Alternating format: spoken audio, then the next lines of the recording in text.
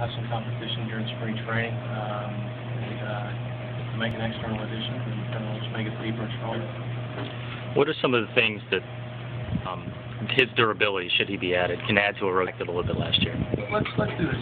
If, once, when and if it becomes official, then, then I'll address all the questions on, on, uh, on Burnett, but un- until then, I, I'd- I'd like to stay with what we have right now in-house. After looking through who's here and everything, uh, I guess pretty much all Tyler's work, uh, you pleased with the shape everybody's returned in?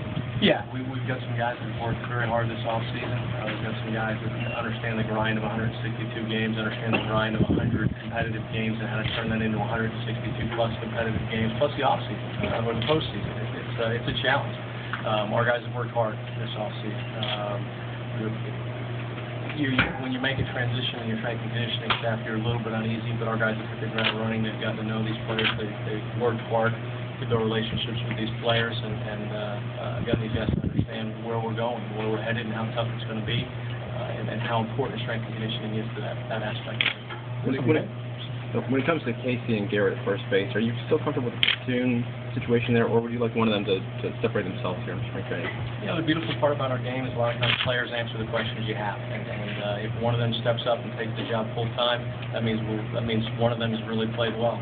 Uh, if they both battle and they're both capable of playing on a, fairly regular basis, or it turns into a platoon situation, um, it means that, that they both they both done well, or neither has taken the job. Um, so the beautiful part about the game of baseball is a lot of it takes care of itself on the field.